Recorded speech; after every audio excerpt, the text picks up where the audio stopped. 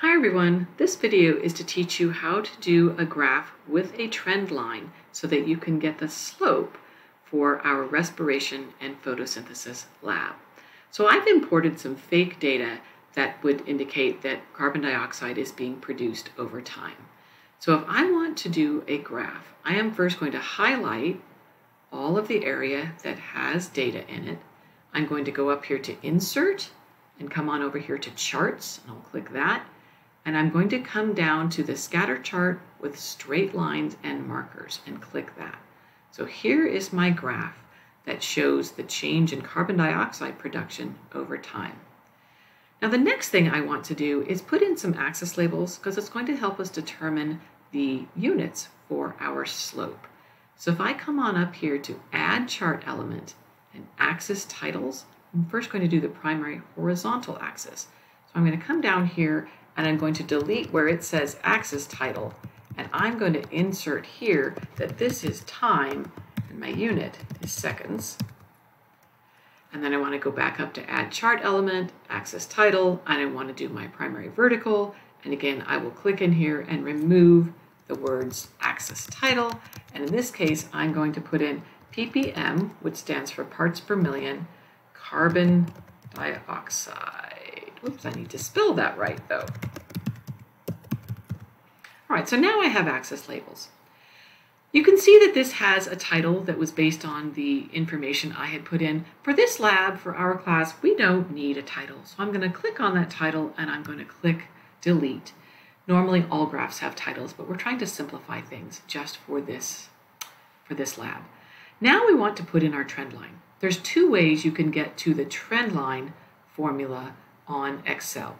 The first way is if I click on my line, do you see how it made little flowers out of the data points? Now I'm going to right click and then, whoops, I got to go back and click on my line, right click, and you see I come down here and it says add trend line. I'm going to click that and it's going to open up this window for all sorts of possibilities. I want to show you a different way to get to that other than right clicking on my line. I can go up here to add chart element and come down to trend line and then move all the way down to more trend line options and the same menu will open up.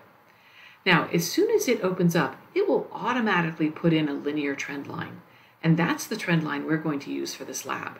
For other graphs, you might choose other trend lines, but please choose a linear trend line for this graph for my class. The next thing we want is we want to have the formula for the line so that we can get the slope. So if I come down here and I click the box that says display equation on the chart, that's going to give me the equation for my line in the form of y equals mx plus b, where y is the y-intercept, x is the x-intercept, and this m, this number in front of the x, is the slope. So what I want you to do is to record the slope in your data table with two decimal places. So for this case, I would write down the slope is 4.40. What are the units going to be of that slope?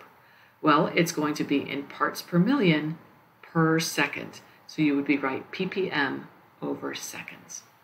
Now, because in this graph, your graphs for this lab, you're going to have multiple lines on one graph, and it can get a bit messy to have all these trend lines and all these formulas on the graph. So for this graph, I want you now that you have the data for the rate for the slope, I want you to remove it from your graph. So I'm going to click on that formula and I'm going to hit delete and that's going to go away. But how do I get rid of the trend line? Because again, if your trend line is vastly different from your curve and you have multiple curves on one graph, it can get very messy and difficult to read. So I'm going to go back up here to add chart element and trend line.